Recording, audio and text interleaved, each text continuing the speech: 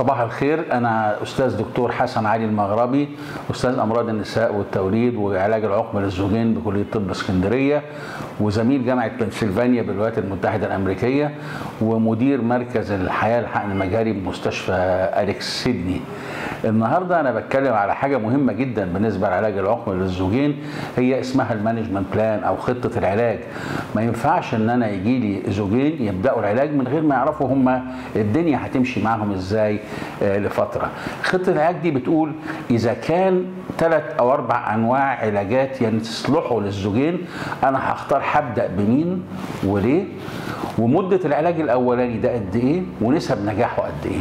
يعني مثلا لو أنا هبدأ أدي علاج تنشيط تبويض هقول والله أنا هدي علاج التنشيط ده لمدة ثلاث دورات.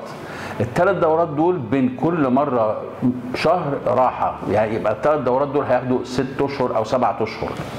أنا هتابع العيانه شهر واحد عشان أعرف النمط بتاعها وبعد كده هخليها ما تجيليش عشان ما تفضلش زهقانة طول النهار آه، رايحة وجاية. يبقى ده إيه؟ نمرة واحد الجزء الأولاني من خطة العلاج تنشيط التبويض. وهقول والله إن أنا لو عدت فترة ست أشهر وما حصلش حمل هنقل على ال- ال- الخطة بي أو الجزء بي من العلاج.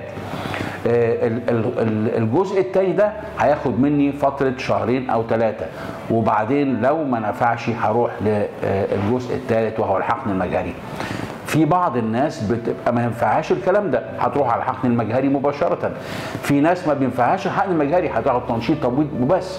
لكن اللي أنا بتكلم عليه إن لازم يبقى في خطة علاج بتشمل إيه اللي هياخده العيان لمدة قد إيه نسب نجاحه قد إيه تكلفته قد إيه.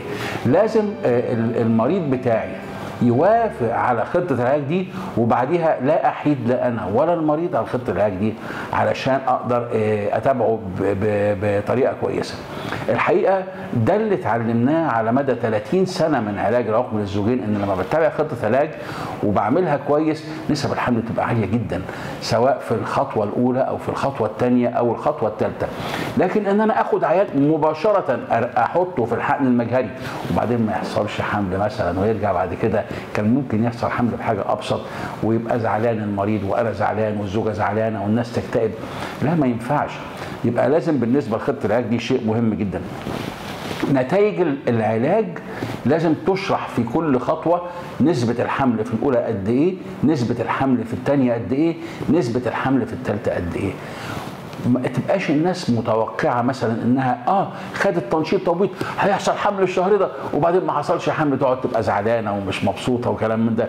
لكن لما بشرح قد إيه فترة العلاج إيه نوع العلاج إيه نسب النجاح إيه تكلفة العلاج؟ هنقل من من خطوة لخطوة إزاي كده آه، بيبقى الأمر جيد ونسب نجاحه عاليه فأنا بدعو حضراتكم إن إحنا لما نبدأ علاج العقم للزوجين لازم يبقى في حاجة اسمها plan of management محطوطة ويتم مناقشتها للعيانة وللزوج ويتم الموافقة عليها ولا نحيد عنها لأن ده بيرفع نسب النجاح جدا وبيخليش عيان يتظلم يروح لخطوة ما كانش محتاج يروحها أو يتكلف تكلفة ملهاش داعي وشكرا.